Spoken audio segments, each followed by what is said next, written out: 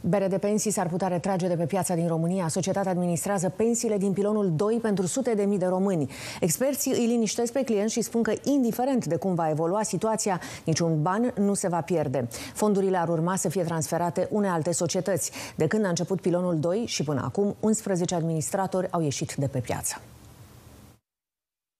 Zvonul că bere de pensii a ieșit de pe piață a apărut după ce societatea a anunțat că va înceta activitatea de marketing pentru fondurile de pensii. Bere de pensii are active de 3,7 miliarde de lei și administrează pensiile din pilonul 2 pentru peste 500 de mii de români. Cu toate acestea este cel mai mic jucător de pe piață. BRD a venit cu o reacție pentru Prima TV. Nu comentăm zvonurile. Prioritatea pentru BRD Fond de Pensii în 2023, ca și până acum, este administrarea responsabilă a fondurilor de pensii private ale companiei. De asemenea, pentru 2023 ne propunem să menținem continuitatea afacerii pe baze solide. În cazul unei ieșiri ipotetice, banii nu s-ar pierde, explică experții. Altul, de 15 ani, de când a început pilonul 2, la început erau 18 fonduri. În prezent sunt numai 7. 11 fonduri au ieșit din piață, așa cum poate o va face sau poate nu o va face BRD acum, prin prelori sau fuziuni de portofolii cu alte fonduri. Cu alte cuvinte, toți banii strânși se mută de la un administrator la altul, niciun client nu este afectat, niciun leu nu este pierdut.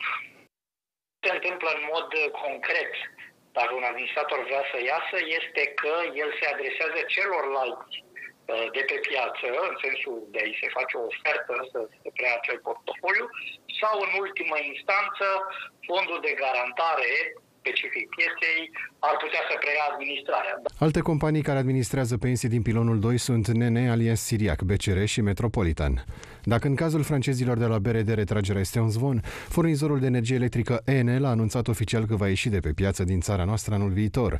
Analiștii explică fenomenul. Sunt situații când uh, dacă uh, sunt niște modificări legislative, unele poate deja întâmplate sau altele în intenție, sau dacă există un, uh, o lipsă de predictibilitate, unii dintre jucătorii de pe piață să decidă că până la acel moment au, uh, uh, eu știu, au luat suficient de pe acea piață ca venituri, profituri și să se reorienteze. Deci... Administratorii fondurilor de pensii private din pilonul 2 nu au acces direct la banii clienților. Ei sunt cei care transmit ordine de investiții băncii depozitare. Legea prevede că fondurile de pensii private nu pot declara faliment.